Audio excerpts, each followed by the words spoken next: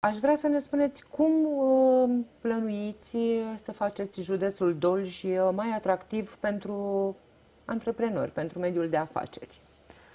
Ne spuneați mai devreme de acel Da, în primul uh, rând, parc bă, industrial. ceea ce putem să facem uh, noi ca și instituție este să dezvoltăm uh, zona de infrastructură de afaceri.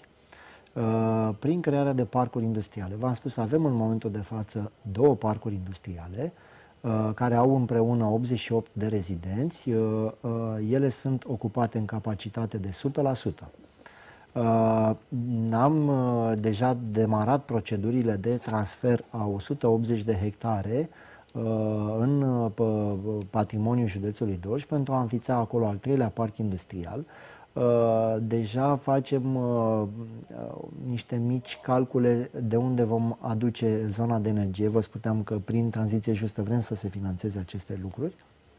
Uh, De asemenea, uh, în, uh, pentru craioveni este foarte bine cunoscut blocul S200, unde deja am anunțat uh, un parteneriat cu Universitatea din Craiova, unde vrem să aplicăm uh, pentru a face un parc uh, tehnologic IT uh, bă, e, uh, împreună cu Universitatea din Craiova.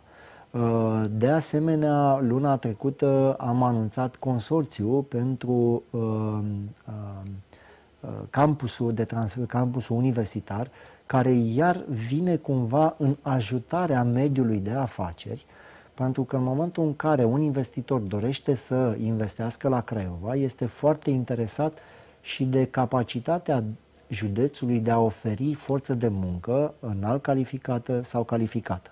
Și atunci este foarte important să facem și acest parc, tehno- parc uh, uh, uh, acest campus uh, universitar.